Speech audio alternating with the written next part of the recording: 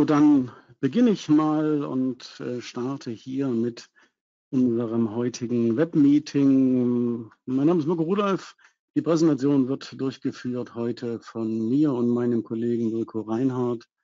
Für alle, die schon da sind, ich habe sehr viele bekannte Namen, langjährige Kunden gesehen, aber auch den einen oder anderen Interessenten. Ich freue mich äh, über diese rege das rege Interesse an äh, diesem Webmeeting und äh, wir werden das Webmeeting aufzeichnen. Die Aufzeichnung läuft schon.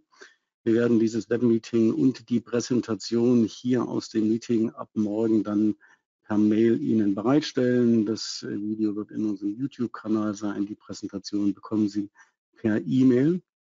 Unsere Präsentation wird circa 30 Minuten dauern. Wir werden starten mit einer kleinen Folienpräsentation, um mal einzuläuten, wo stehen wir, warum beschäftigen wir uns mit diesem Thema, wo geht es denn hin. Dann werden wir live mit dem Produkt arbeiten und Ihnen zeigen in einer zweistufigen Präsentation einerseits, wie ist das zu verwenden und andererseits, wie kann das dann auch entsprechend konfiguriert werden.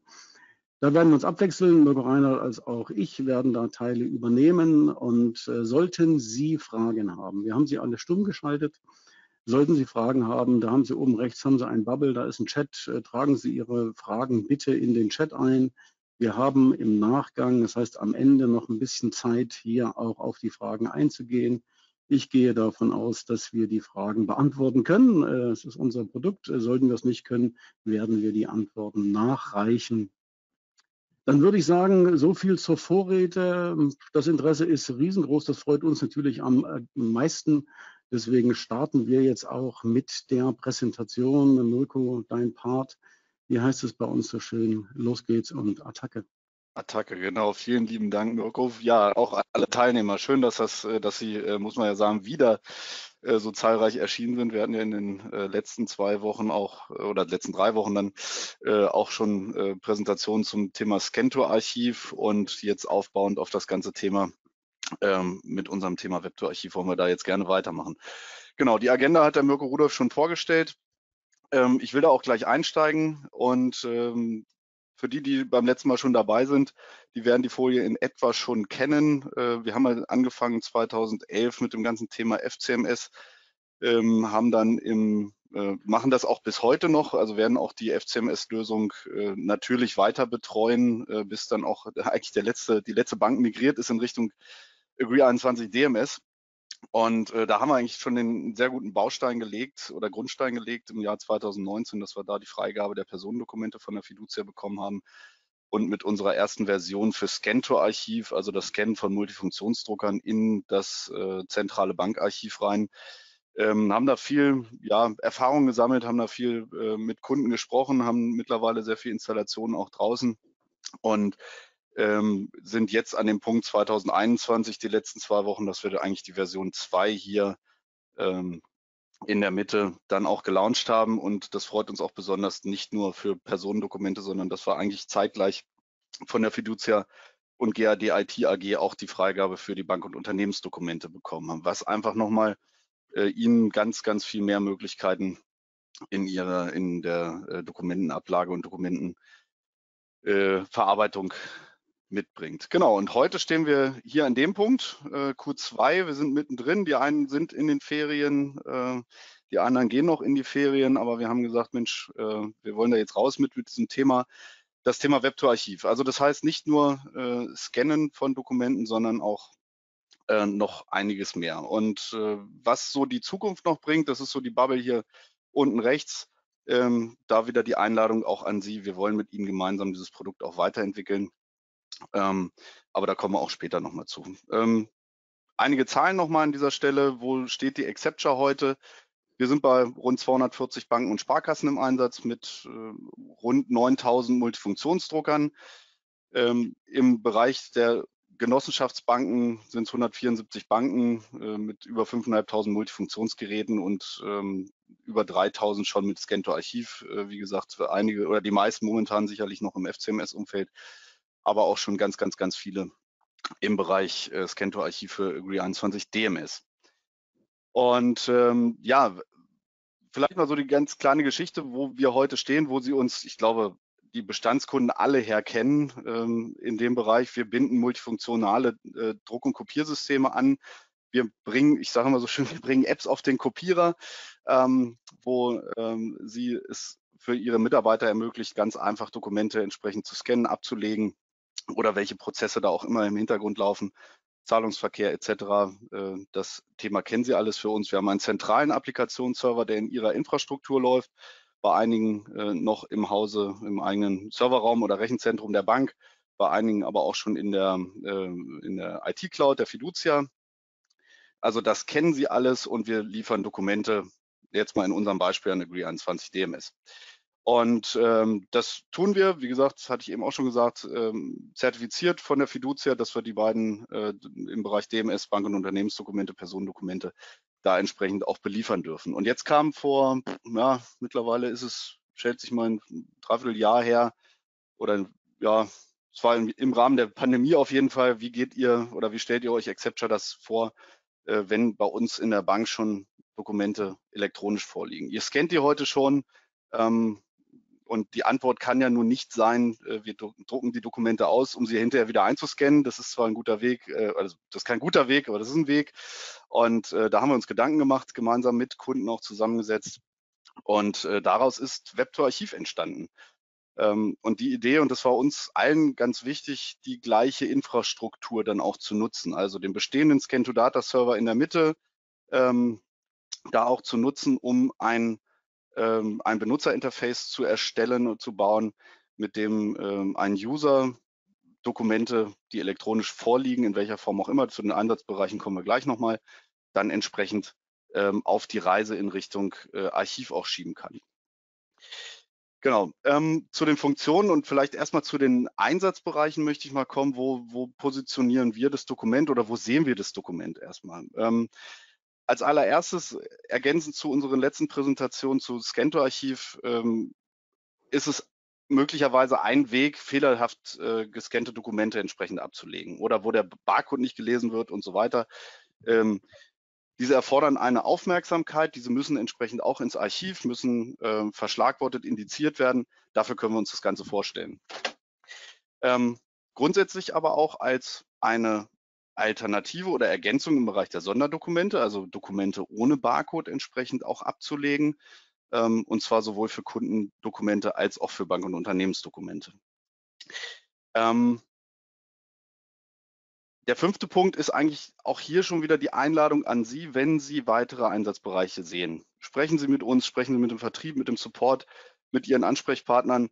Ähm, wir sind da gerne bereit, das Dokument, äh, das, das äh, Produkt da auch weiterzuentwickeln oder so. Oder in, ähm, wie gesagt, sprechen Sie mit uns, sprechen Sie uns darauf an und äh, finden wir da gemeinsam auch Lösungen. Vielleicht gibt es Dinge, die wir einfach momentan noch nicht sehen, aber Sie sind die äh, Leute aus der Praxis. Da sind wir auf Ihr Feedback immer ganz gespannt.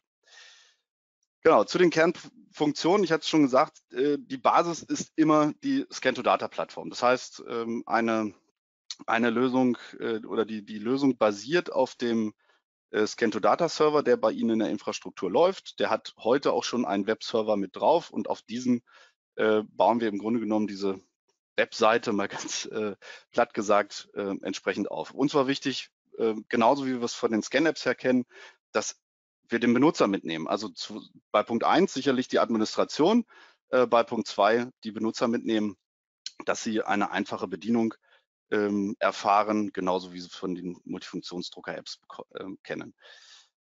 Ähm, wenn wir schon bei der Infrastruktur sind, wir haben eh den Personen- und Formularbestand bei uns in der Datenbank zum Scannen der ganzen äh, Formulare etc. pp. Also warum nutzen wir ihn nicht? Und das ist eigentlich die Antwort darauf, ähm, dass es da entsprechend mit äh, integriert. Für den Benutzer, das werden wir gleich auch in der Live-Präsentation äh, sehen, da wird Mirko Rudolf äh, näher drauf eingehen, ist es flexibel anpassbar an Ihre Bedürfnisse, an die Anwenderrollen und so weiter. Ähm, wir haben äh, festgestellt, dass es teilweise das Produkt genutzt werden soll, um halt in Zentralbereichen äh, Dokumente abzulegen. Die äh, Personen haben natürlich ganz andere Anforderungen an das System als, ich sag mal, die die gesamte Mannschaft, äh, wo mal ein Dokument abgelegt werden soll. Also das kann benutzerindividuell angepasst werden, wie Sie es möchten. Genau. Und unter anderem für die einfache Bedienung ähm, sollen für den ersten Moment auch Shortcuts dienen. Also nicht nur den Personen und den, den Formularbestand äh, mit Pflichtfeldern und so weiter, sondern auch Shortcuts, dass man ganz schnell auf, äh, die, auf das richtige Formular letzten Endes auch zugreifen kann. Das schauen wir uns gleich in der, in der Live-Präsentation an. Ähm, und am Ende des Tages war uns und allen wichtig, so wie Sie es auch von uns kennen, eine einfache Lizenzierung. Wir müssen etwas umdenken. Wir denken jetzt natürlich nicht mehr in Multifunktionsdruckern, sondern über eine Web-Applikation, über ganz andere Dimensionen. Aber seien Sie gespannt, es kommt in, in ein paar Folien nach der Live-Präsentation, da äh, lüften wir auch das Geheimnis, wie wir uns das vorstellen. Ja, und da kommen wir auch schon in den Bereich der, der Live-Präsentation. Ähm, auch den Teil werden wir uns aufteilen, Herr Mirko Rudolf und ich. Ich ziehe jetzt mal meinen Remote-Server hier mal rüber. Ähm, Genau, wir machen heute eine reine Online-Präsentation. Das heißt, der Server steht in Berlin, ich bin selbst im Homeoffice und äh, verarbeite jetzt mal diese Dokumente. Vielleicht für den Einstieg, ähm, für die, die die letzten Wochen mit dabei waren, das, äh, dieses Beispiel hatten wir ja auch schon äh, bei Scanto Archiv. Wir haben einen Dokumentenstapel gescannt aus drei Dokumenten. Ähm, diese Dokumente, da sind die Barcodes alle in Ordnung. Die wurden direkt über die Scan-Funktion Scantor-Archiv direkt ins, äh, ins DMS oder ins Archiv geschoben und dieses Dokument wurde ausgeroutet. Und an dem Beispiel wollen wir jetzt auch anfangen. Ich muss das mal einmal klein machen. Und wir schauen uns mal an, wie kommt jetzt ein Anwender äh, in diese Lösung rein, Web2Archiv. Diese URL, die müsste halt einmal ausgetragen werden von Ihnen. Ähm, die läuft, wie gesagt, auf dem zentralen Scento Data Server. Und äh, die nach, oder vor, noch vor der Anmeldung, Anmeldung findet der Anwender hier das sogenannte Accepture Web vor. Jetzt werden Sie sich die Frage stellen, hä, was ist denn Accepture Web? Accepture Web äh, wird die ja, neue Produktsuite, könnte man schon fast sagen, ähm, für alles, was Web-Applikationen sind. Also wir werden äh, einige Produkte, die Sie vielleicht auch schon kennen, zum Beispiel Print2You und so weiter, hiermit integrieren. Das sind alles Web-Applikationen, die auch schon lange, lange Bestand haben bei uns. Und wir haben gesagt, wir wollen das jetzt alles mal vereinen in ein, ähm, in ein Portal und das wird das Accepture Web Portal sein. Wie gesagt, läuft alles bei Ihnen in der Infrastruktur, keine Cloud-Anwendung und so weiter. Ein Punkt dabei, will ich hier rechts noch drauf ein, ganz kurz mal drauf eingehen, ist Accepture Analytics. Ähm, da werden wir das Thema Auswertung Statistiken nochmal näher beleuchten. Ähm, da werde ich heute nicht reinschauen, sondern da wird es in Zukunft ähm, in den nächsten Wochen auch nochmal ein Webinar dazu geben, welche Möglichkeiten Sie hier haben, Dokumente oder äh, Statistiken zu führen und äh, nach Dokumentenarten, nach Druckern und so weiter auszuwerten. Wir werden dem Benutzer hier verschiedene Möglichkeiten geben, äh, eigene Einstellungen vorzunehmen. Das schauen wir uns gleich auch im Rahmen von Web2Archiv an und dann wollen wir jetzt mal in die Anwendung Web2Archiv selbst reingehen. Die Anwendung selbst ganz kurz erklärt, zentraler Baustein hier eine große, große, große äh, Dokumentenvorschau. Denn nichts ist wichtiger, genauso wie Sie es auf dem Schreibtisch auch kennen. Ich möchte das Dokument erstmal präsent haben und alle anderen äh, Themen sind drumherum. Wir haben hier auf der linken Seite die sogenannte Dokumentenauswahl. Das ist im Grunde genommen mein, ja, mein Dokumenteneingang, wenn Sie es so wollen. Also wir verarbeiten hier einen Stapel von PDF-Dokumenten, die jetzt hier schon reingeflattert sind, nenne ich es mal. Und wir haben hier oben unsere Shortcuts, die Tastenkürzel. Da merken Sie sich mal ganz kurz, wie das hier bei mir aussieht. Äh, das sind jetzt hier zehn Shortcuts, die alle mit ähm, gewissen Informationen bestückt sind. Ähm, wie gesagt, ganz kurz mal merken. Das werden wir gleich nämlich bei Herrn Rudolf nochmal sehen, wie das da aussieht. So, ich gehe jetzt als Anwender mal von oben nach unten durch und ähm, schaue mir hier mal mein Fehlerdokument an. Das haben wir uns eben in einem Stapel äh, schon angeschaut. Die ersten beiden Seiten sind direkt schon ins Archiv gegangen und dieses Dokument hier, ähm, da haben wir jetzt mal mit Absicht den Barcode zerstört, also provoziert, dass das hier ausgesteuert wird als sogenanntes Fehlerdokument und das wollen wir jetzt verarbeiten. Wir gehen also hier rechts oben auf die Verarbeiten-Taste und finden jetzt hier ähm, eine ähnliche Situation vor. Wir haben das ganz bewusst auch da gemacht, auf der linken Seite das Dokument angezeigt, damit der Anwender direkt weiß, okay, ich bin jetzt in der Verarbeiten-Maske drin. Hier sind jetzt gewisse Voreinstellungen hinterlegt. Das heißt, ähm, es könnte jetzt hier, der Anwender könnte entscheiden, geht das an den, äh, an den Dokumentenspeicher oder direkt ins Archiv und was für eine Art von Dokument ist denn das hier überhaupt? In dem Fall ist es ein Personendokument und ich möchte das ins Archiv bekommen und ich suche hier nach dem, ähm, äh, nach der Formularnummer. Das kann ich jetzt einerseits machen über den Namen, dann wird mir das hier aufgelöst. Das wäre jetzt, glaube ich, die 34.0, ne, 34.84.20, die habe ich mir aufgeschrieben. 34.84.20, das kann ich auch über die, über die Tasten beziehungsweise hier über die, über die Formularnummer machen und kriege dann das hier auch direkt ausgesteuert. Mein Kunde ist der Herr Mustermann und zwar der Maximilian. Und ähm, hier könnte ich jetzt zum Beispiel noch Bemerkungen mit weitergeben und so weiter. Diese Informationen würden auch alle ans DMS mitgehen.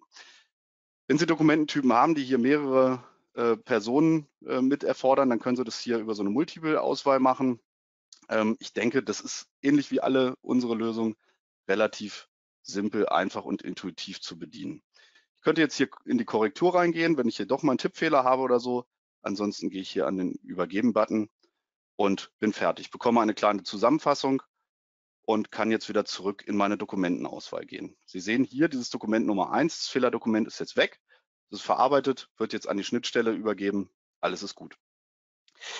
Ich habe das gleiche Dokument hier nochmal genommen, um Ihnen den weiteren Weg nochmal aufzuzeigen, nämlich über die sogenannten Shortcuts. Ich hatte es eben schon gesagt, ähm, das sind, ich nenne es mal so Schnelleinsprungpunkte oder Favoriten, die wir hier nutzen können, ähm, entweder ich springe den an über die über den Shortcut 0, also ich drücke dann Steuerung Alt und 0 oder ich gehe hier einfach mit der Maus drauf. Das ist, glaube ich, von Anwender zu Anwender äh, ganz individuell, wie ich das, äh, wie der das haben möchte und das äh, kann er sich dann auch, kann er selbst einfach bedienen. Die Formularnummer und alles weitere ist hier oben schon vorbelegt. Ich brauche jetzt hier nur noch den, ähm, den Kunden mit auswählen und das kann ich auch hier über die Personennummer machen. 1 bis 8, Enter, Mustermann Maximilian und jetzt könnte ich hier auch sagen, übergeben, Dokument verarbeitet, fertig. So, jetzt müssen wir auf meinen Spickzettel gucken. Jetzt haben wir den Mietvertrag. Auch den schauen wir uns einmal an. Das ist jetzt, wir haben jetzt erstmal äh, auch einfach Musterdokumente genommen. Das ist ein zweiseitiger äh, Mietvertrag für ein Schließfach. Und ähm, da gehe ich jetzt auch mal in die Verarbeitung rein. Und das ist die Formularnummer. Und das ist der Herr Meier.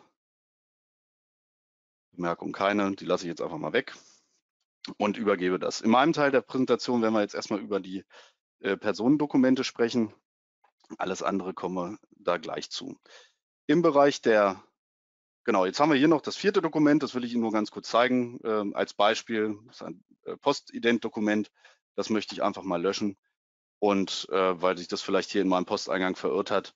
Und damit bin ich dann auch schon am Ende angekommen. Ja, jetzt würde ich übergeben an den Mirko Rudolf in dem zweiten Teil. Und da erklärt er Ihnen einfach mal, wie auch die Benutzereinstellungen und so weiter noch deutlich besser individualisiert werden können. Mirko, du übernimmst. Jawohl, und da sind wir auch schon auf dem gleichen Server und äh, wie Sie Acceptor kennen, bei uns kommen Sie um das Scannen nicht umhin. Ja, wir wollen, äh, kommen aus dem Bereich Scannen, äh, aber Scannen wird hier nur ein Teil sein, denn in meiner Präsentation geht es darum, wie verknüpfe ich jetzt ein multifunktionales System mit dem Web2-Archiv. Das ist das erste, mit dem wir starten. Und das zweite, darauf hatte der Mirko Reinhardt hingewiesen, wie können wir jetzt das so individualisieren, um eben auf personalisierte äh, Scan-Profile, also Übergabeprofile zu reagieren. Ich habe auch hier die äh, Web2-Archiv-Anwendung bei mir am Server am Laufen, melde mich jetzt hier mit meinem entsprechenden User an und der Mirko Reinhardt hatte Ihnen das angedeutet. Äh, hier oben haben wir schon mal eine kleine Veränderung. Das heißt, meine Kurzwahlen hier oben sind äh, teilbelegt und ich habe keine Dokumente drin. Das wollen wir jetzt mal verändern. Und dann wollen wir auch mal in die Konfiguration gehen. Wie stelle ich hier gewisse Dinge ein? Ich sehe ja schon eine Frage hier im Chat, auf die werde ich auch gleich eingehen. Aber auf jeden Fall wollen wir als erstes mal dieses hier befüllen. Und dafür haben wir jetzt hier äh, auf der rechten Seite drei Ordner. Einmal mein oberer Ordner, das ist so mein Demo-Ordner, mit den Dokumenten werden wir auch gleich arbeiten. Dann haben wir meinen Upload-Ordner. Das ist der Ordner, der mir als User zugeordnet ist, auf den mein Webarchiv-Profil lauscht, auf den es hört und das, was der nur Reinhard für uns gemacht hat, da was reinzukopieren. Wir scannen da jetzt etwas hinein und hier unten sehen Sie, da sind auch schon Dokumente verarbeitet worden. Das läuft im Hintergrund eben mit einem äh, mit einem, äh, mit einem Task, also dass unser klassisches Kento-Archivlösung da, da auf das System zugreift, und das verarbeitet. Ich habe jetzt hier einen Stapel Rechnungen und diesen Stapel Rechnungen, das sind eben hier, das sind jetzt drei Rechnungen, die haben wir mit entsprechenden Trennseiten belegt, die liegen auf dem Scanner drauf. Ich drücke da auch gleich auf den Knopf. Das sind Standard-Trennseiten, die wir eben in unserer Scan-to-Folder BC-Lösung zur Verfügung stellen. Scan-to-Folder BC heißt so viel wie äh, Barcode und das macht hier nichts anderes, als die Dokumente zu trennen und eben in meinem entsprechenden personalisierten Ordner bereitzustellen. Wenn ich hier jetzt Web2Archiv auswähle, muss das Gerät kurz aufwecken und da geht es auch schon los. Melde ich mich an, ich habe nur ein Profil hinterlegt, ich habe eine Regel hinterlegt, das heißt, er fängt jetzt gleich an zu scannen, hat da jetzt fünf Seiten oben drauf, das sind also drei Rechnungen und zwei Trennseiten. Mit den Trennseiten splittet er jetzt entsprechend diesen Stapel und stellt Ihnen den jetzt hier in der Mitte in meinem Upload-Ordner zur Verfügung. Also eine direkte Verknüpfung von unseren Scan-Anwendungen, entweder aus einem Scan-Profil heraus, in dem ein Fehlerdokument ist, oder durch einen direkten Scan hier in die Web2-Archiv-Anwendung. Dokumente befinden sich hier und ich kann jetzt hier natürlich durch das Aktualisieren auch in die Verarbeitung hineingehen. Das haben Sie im Teil schon gesehen vom Mirko Reinhardt. Ich wähle das Dokument aus, gehe hier in die Verarbeitung. Und jetzt habe ich eine Rechnung. Er zeigt mir aber, dass er das in das DMS geben will. Das sind Personendokumente. Das liegt an meinen Voreinstellungen und diese Voreinstellungen kann der User für sich selbst konfigurieren. Und dafür haben wir hier unten die Benutzereinstellungen. Und in den Benutzereinstellungen gibt es eben diese Standardeinstellungen, in denen Sie in der Regel immer arbeiten. Also bei mir ist hier definiert, das sind Personendokumente und die gehen entsprechend direkt in das Archiv. Und hier sind die Grunddarstellungen und Grundeinstellungen für Personendokumente. Es gab eine Frage mit dem Ablagedatum, mit welchem Datum wird das abgelegt. Wir legen das jetzt mit dem Datum ab, das wir hier ermitteln. Ich glaube, es macht Sinn, hier auch ein Datumsfeld mit reinzubringen, dass man da auch ein anderes Datumsfeld zur Verfügung nimmt. Das spreche ich mit den Kollegen aus der Entwicklung ab. Ich würde es einfach mal hier ein weiteres Feld aktivieren, Bemerkung. Ich speichere das, gehe nochmal zurück, wähle nochmal ein Dokument aus, gehe nochmal den gleichen Weg und Sie sehen, dass am Ende, ohne dass groß etwas verändert worden ist, ein Haken mehr gesetzt worden, ist das Bemerkungsfeld auch verfügbar. Das sind die Grund und das sind die Standardeinstellungen. Jetzt ist das aber eine Rechnung. Ja, eine Rechnung, die geht nicht zu den Personen- und Kundendokumenten, sondern das sind Bank- oder Unternehmensdokumente und die gehen in einen ganz anderen Speicher. Und dafür haben wir hier Shortcuts hinterlegt und an den Shortcuts werden wir jetzt einmal arbeiten. Aber wie kommen Sie zu diesen Shortcuts? Diese Shortcuts stellen nicht wir zur Verfügung, wir stellen Ihnen nur den Weg zur Verfügung, wie Sie diese Shortcuts selbst einstellen können. Hier oben gibt es die Benutzer und einmal die Shortcut-Einstellung. Sie sehen jetzt, die sind null, also da habe ich keine Formularnummer dahinter. Also da würde er in eine ganz normale Auswahlliste kommen. Hier habe ich eine klare Formularliste, eine Formularnummer dahinter und habe Regeln definiert. Ich habe gesagt, wenn dieser ausgewählt wird, dann verwendest du bitte diese Formularnummer. Das ist dieses Formular und ich möchte diesen Betrag haben und es soll in dieses Arbeitsfach gehen. Das kann ich rausnehmen. Ich lasse es jetzt mal drin und möchte das jetzt einmal bei diesen Rechnungen auch ausführen, also hier einen Betrag haben und es soll in einem Arbeitsfach jemand weiter bearbeiten. Am Ende ist es lediglich die Auswahl eines entsprechenden Dokumentes, Shortcut gedrückt. Das Dokument ist entsprechend im Dokumentenspeicher jetzt als Bankdokument definiert. Ich gebe jetzt hier den Betrag ein, 3049, übergeben, fertig, nächstes Dokument. Das ist bei allen anderen Dokumenten dann genauso. Also hier bin ich sehr schnell in der Lage, dieses wegzuarbeiten und hier auch dann entsprechend diese Dokumente, ich habe die 80 vergessen, das werden Sie hier nachsehen, fallabschließend dann über diese Anwendung an das Archiv zu übergeben. Das war jetzt der falsche Weg. Sie haben gesehen, ich habe den Shortcut nicht gedrückt, aber das passiert. Hier haben wir es 153,34. Also sehr schnell und äh, ohne Probleme für jeden auch konfigurier- und individualisierbar. Und diese Shortcuts, die bauen Sie sich selber und äh, dafür habe ich mal hier ein Beispieldokument äh, erstellt. Da habe ich bereits den Formularnamen, das heißt die Formularnummer in den Dateinamen übernommen, dass ich es nur kopieren brauche. Und wenn ich jetzt hier in meine Konfiguration hineingehe, kann ich mir mit wenigen Klicks einen eigenen Shortcut erstellen, indem ich einfach nur hier den Wert 0 gegen diese Formularnummer tausche, kurz rausspringe.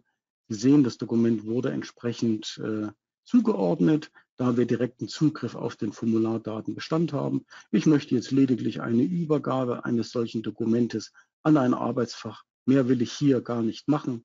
Es, ist, es wird gespeichert und in dem Moment, wo Sie das gespeichert haben, steht für diesen User dieser Shortcut auch sofort zur Verfügung. Und somit können Sie sich Ihre individuellen Shortcuts bauen. Zur Benamung kommen wir gleich noch. Das werden wir uns auch gleich noch in der weiteren Zukunft anschauen. Ich nehme jetzt mal das Dokument, kopiere das jetzt mal hier in meinen Ordner hinein. Und wenn ich jetzt wieder an die Anwendung zurückwechsle, das aktualisiere, steht das Dokument auch zur Verfügung. Hier haben wir mal eine Rechnung, das wir aus einer anderen Präsentation genommen haben. Ich klicke lediglich hier drauf. Es ist alles verschlagwortet, konfiguriert und mit einem Übergeben ist dieses Dokument in der entsprechenden Verarbeitung und wird von unserem Application Server so umgebaut, dass es eben vom Dokumentimporter aufgenommen werden kann und äh, an das Archivsystem übergeben kann. So viel zu dem Thema. Erste kurze Information, wie kann ich das System verknüpfen mit den bestehenden Scan-to-Data-Lösungen, also mit dem klassischen Scannen. Und äh, wie kann ich das auch individualisieren und personalisieren?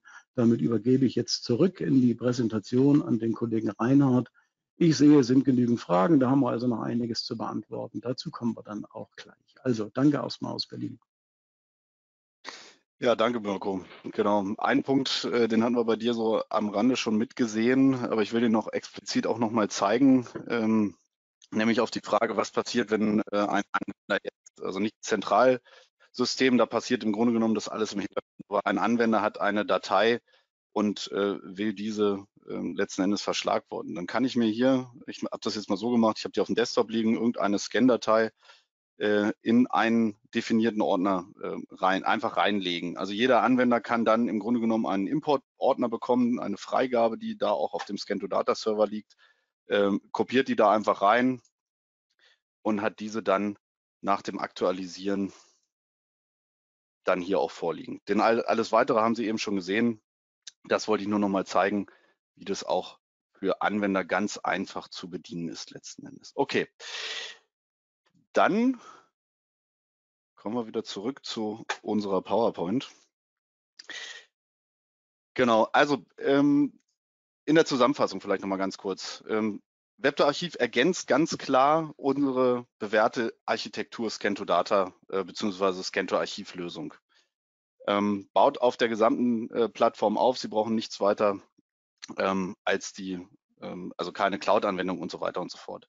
Genau, eine Webanwendung, äh, die auch für jeden äh, Anwender zu bedienen ist. Wir haben also keine Installationen zusätzlich auf den Clients und so weiter. Das war allen ganz wichtig, dass das auch autark läuft und deswegen auch an der, über das Web letzten Endes über den Browser. Jetzt kommen wir zu den äh, Lizenzierungs- und eigentlich spannenden Punkten. Ähm, uns war wichtig, genauso wie Sie es von all unseren eigenen Lösungen auch kennen, ein unlimitiertes Seitenvolumen. Ähm, Sie kaufen einmal diese Lösung, da gibt es einen Wartungspreis drauf und dann können alle Anwender und alle ähm, äh, und un unlimitiert Seiten da entsprechend mit nutzen. Genau, also auch eine Serverlizenz für die meisten Kunden oder ich glaube sogar alle Kunden wäre das dann im Grunde genommen eine Einmallizenz, also eine Banklizenz, wenn Sie das so wollen. Und äh, das Ganze zu einem Preis von, wie gesagt, das als ähm, Einmal-Invest und die Wartung sind 20 Prozent pro Jahr an dieser Stelle.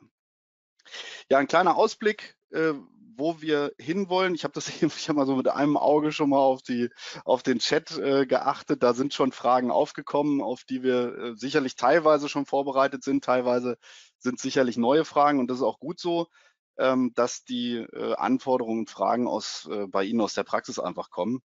Aber ähm, was wir uns schon mal gedacht haben, in, welchen, in welche Richtung das geht, da vielleicht ein kleiner Ausblick. Genau. Ähm, die Frage habe ich eben definitiv schon gesehen. Ähm, äh, die Shortcuts sind momentan mit den Formularnummern äh, belegt. Ja, äh, die werden in Zukunft auch äh, separat benannt werden können. Das heißt, ich kann dann sagen, das ist eine Eingangsrechnung und dahinter liegt dann im Grunde genommen die äh, entsprechende PAD-Nummer, ähm, sodass das auch ähm, noch einfacher zu bedienen ist an der Stelle. Des Weiteren, das war auch eine äh, Anforderung, die vom Kunden kam, was machen wir denn mit Dokumenten, die eigentlich, also die Barcode-Dokumente sind, äh, die sich da aber, ich sag mal, rein verirrt haben, wo aber der Barcode, die Barcodes noch super aussehen und so weiter, die wollen ihre Anwender ja nicht separat äh, nochmal verschlagworten. Nein, da wird es einen Button in Zukunft geben, dass die Barcode-Dokumente auch in die automatische Verarbeitung gehen können, als wenn sie gescannt worden sind ähm, über die Barcode-Engine. Genau, dann haben wir uns, ähm, momentan ist ja ein, ich sag mal, ein einfacher äh, Viewer äh, hinterlegt in dem, in dem Client. Äh, ich kann, äh, und für die Zukunft soll es noch einen erweiterten Viewer geben, der auch trennen kann, also äh, einen Dokumentenstapel nochmal auftrennen kann, ihn aber auch wieder zusammenführen kann, äh, einzelne Seiten vielleicht löschen kann und so weiter und gegebenenfalls auch äh, Seiten drehen kann. Da sind wir gerade in der Entwicklung so am, am Evaluieren, was wir da noch an, an Komponenten dazu brauchen und so weiter. Ähm, das steht aber relativ weit oben an, weil da der Bedarf, ähm, der Bedarf von, von einigen Kunden auch da war. Ähm, genau. So, und dann auch da, ähm, genau, ähm, der Bereich verschiedene Formate. Ähm, es kann durchaus sein, dass Sie als äh, von Ihren Kunden äh, nicht nur PDF-Dateien bekommen, sondern auch vielleicht JPEGs und so weiter. auch die sollen dann entsprechend da drin verarbeitbar sein und dann möglichst auch mit der, mit der Funktion aus Punkt 3 trennen, zusammenführen und so weiter ähm, dass das dann im Grunde genommen ein neuer Stapel wird. Ja, Bereich X ähm, ist mit gemeint. Sie sind herzlich eingeladen, heute über den Chat oder in Zukunft auch äh, über alle Kanäle, die Sie kennen, äh, mit uns da zusammenzuarbeiten. Wir wollen von Ihnen lernen, wir wollen wissen, was Sie brauchen und nur so können wir auch unser Produkt entsprechend äh, bauen und dann auch entsprechend zu Ihnen bringen. Ja, äh, wir haben es mal genannt, Ihr Weg äh, zu Webtor Archiv. Äh, wir haben das mal aufgeteilt in zwei Bereiche. Einmal die Neukunden, einmal die Bestandskunden.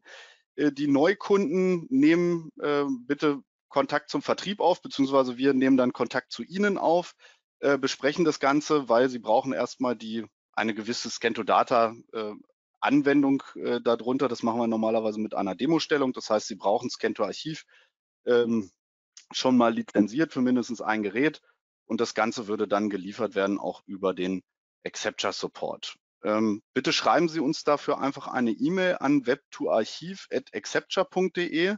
Äh, Mirko, kannst du das mal ganz kurz mal in den Chat reinschreiben, dass alle die ähm, brauchen, brauchen sich die Anwender das nur einmal rauskopieren. Äh, für die Bestandskunden ähm, da würden wir gerne über den Support erstmal eine technische äh, Prüfung machen. Auch Sie melden sich einfach an webtoarchiv.accepture.de, dann können wir das so ein bisschen kanalisieren. Dankeschön. Und ähm, da machen wir eine technische Prüfung Ihrer Serverinfrastruktur erst einmal, würden das dann auch Demo stellen, bevor Sie es kaufen. Und ähm, wie gesagt, die gesamte Lieferung des Projektes würde dann auch der Support in Abstimmung mit uns und so weiter machen. Wie gesagt, kurz eine E-Mail an webtoarchiv.accepture.de wenn Sie da irgendwelche Punkte haben, wo Sie sagen, Mensch, das fehlt mir oder da und dafür würden wir es gerne einsetzen, schreiben Sie da gerne ein paar Zeilen zu und dann können wir uns da schon mal darauf vorbereiten. Vielen Dank erstmal an dieser Stelle. Ja, und dann sind wir eigentlich mit, dem, äh, mit der Kernpräsentation auch schon im Großen und Ganzen durch und würde sagen, Mirko, dann kommen wir zu den Fragen. Okay. Äh, Folge, zu den Folge-Webmeetings ähm, wir haben momentan von unserer Seite keine geplant. Das ist so ein bisschen der, der Urlaubszeit geschuldet, aber ich glaube, die letzten drei Wochen haben uns gezeigt, dass da einfach ganz klar Bedarf ist, dass da ganz viel Interesse da ist. Ähm, so ein bisschen was haben wir heute auch schon wieder besprochen, äh, wo die Reise auch noch hingehen kann. Schauen Sie gern regelmäßig unter excepture.de Events äh, Veranstaltungen nach oder tragen Sie sich auf jeden Fall in unseren Newsletter ein. Die Bestandskunden schreiben wir gerne, generell auch mit an. Ähm, aber bei all den Neukunden und so weiter. Also New Newsletter eintragen ist auf jeden Fall die sichere, äh, sichere Wahl an der Stelle. Genau, und dann ja, im Namen unseres gesamten Teams, äh, den Stefan Sendelbeck haben Sie heute nicht gesehen. Ich glaube, der ist noch auf der Straße. Ähm, da schöne Grüße auch an die ganzen Kunden aus dem Süden. Ähm, unser gesamtes Team rund um die Accepture steht Ihnen gerne zur Verfügung. Ähm, auf der Webseite finden Sie unsere Kontaktdaten. Da können Sie auch direkt Termine buchen für eine Online-Präsentation und so weiter. Ja, dann bleibt mir nur Danke zu sagen an dieser Stelle an alle, wenn jetzt keine weiteren Fragen. Eine Frage steht hier noch, äh, kriegen wir die Aufzeichnung zugesendet? Ja, die stellen wir nämlich in diesen YouTube-Kanal. Ähm, und da bitte auch vielleicht, oder die Bitte oder Wunsch an alle, abonnieren Sie da den Kanal, tippen Sie auf die Glocke, dann werden Sie auch äh, regelmäßig informiert, wenn wir da neue Videos reinstellen. Ähm, und dann bleibt mir einen schönen Donnerstagnachmittag noch zu sagen. Alles Gute und bis demnächst. Vielen Dank.